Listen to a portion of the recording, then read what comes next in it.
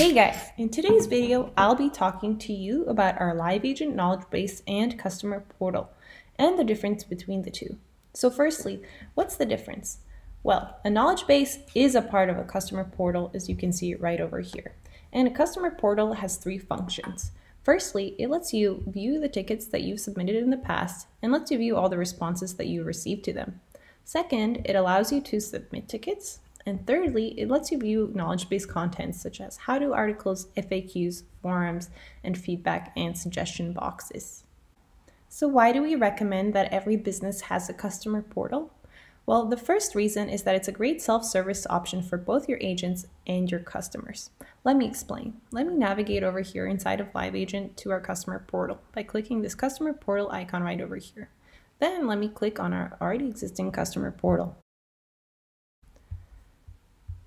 As you can see, there are multiple articles in here. Some are marked as internal while others aren't. So what this means is that internal articles are available only to your agents.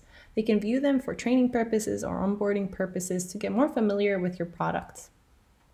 The articles that are not marked as internal are available to the public, therefore your users, and they can use them to figure out things about your product on their own, such as this um, article that says how to create chat buttons in Live Agent. If you look over here, you can see it right over here, and your users can access it to basically use it as a self-service option. So instead of having to contact your agents about simple tasks like how to create a chat button, they can simply view this guide and find the answer themselves. The second reason we recommend that every business has a knowledge base or a customer portal is that it's a great SEO content generator.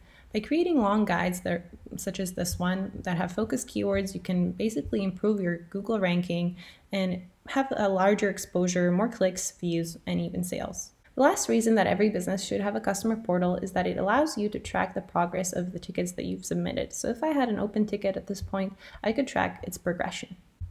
Now that you know why it's important to have a knowledge base and a customer portal, let's get into the live agent side of things and let me show you how everything works in real time. So to navigate to your customer portal, you want to click this icon over here. Then it'll take you to this overview where you can start creating your customer portal by clicking this button. But since we already have a customer portal in place, I'll be working with the one that we have available, which is this one. So let's get in on there. So now let me show you how to edit an article in real time. I'll simply click over here and I can modify it however I like.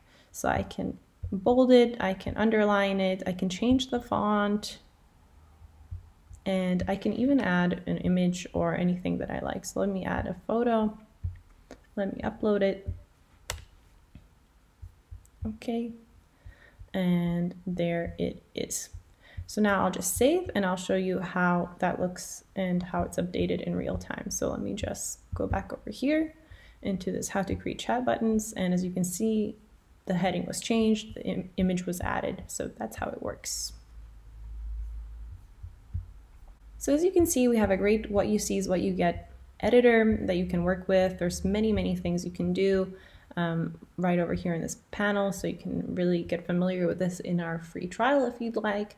Uh, but now I'll show you how you can customize the knowledge bases style entirely to match your website and just your business style. So if you have a talented graphic designer, um, you can just have them work on this and make it match your business completely. So all you would have to do is click here on settings once you have your uh, portal selected. So it could be this one or it could be the general one.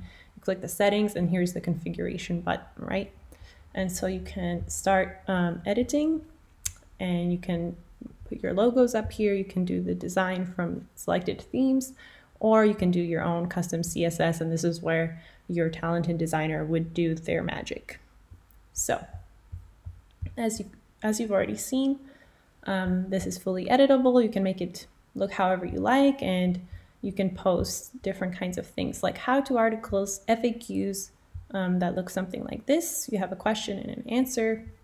You could alternatively post forums, Forums look something like this. And you could even post feedback and suggestion boxes.